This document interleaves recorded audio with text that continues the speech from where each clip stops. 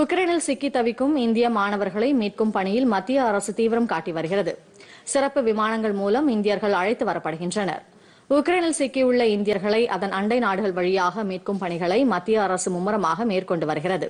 இதற்காக ஆபரேஷன் கங்கா என்ற திட்டத்தின்படி சிறப்பு விமானங்கள் இயக்கப்பட்டு வருகின்றன. இந்த பணியில் விமானப்படை விமானம் சேர்ந்துள்ளது. ருமேனியாவின் புகாரஸ் பகுதியிலிருந்து இருநூறு இந்தியர்கள் தில்லிக்கு இன்று காலை வந்தடைந்தனர். அவர்களை இந்திரா காந்தி சர்வதேச விமான நிலையத்தில் மத்திய இணையமைச்சர் ராஜீவ் சந்திரசேகர் வரவேற்றார்.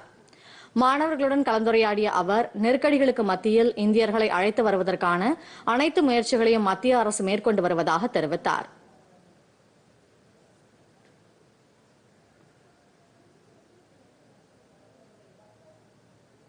இதேபோல புகாரஸ் நகரிலிருந்து மற்றொரு விமானம் மும்பைக்கு வந்தடைந்தது.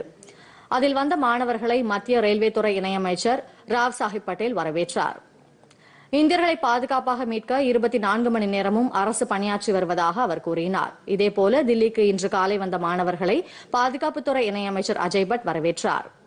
முன்னதாக தில்லியில் நேற்று செய்தியாளர்களிடம் பேசிய வெளியுறவுத்துறை செய்தி தொடர்பாளர் அரிந்தம் பக்ஷி மத்திய அரசு வெளியிட்ட அறிவுறுத்தல்களை தொடர்ந்து சுமார் பதினேழாயிரம் இந்தியர்கள் உக்ரைன் எல்லையை கடந்துள்ளதாக தெரிவித்தார்.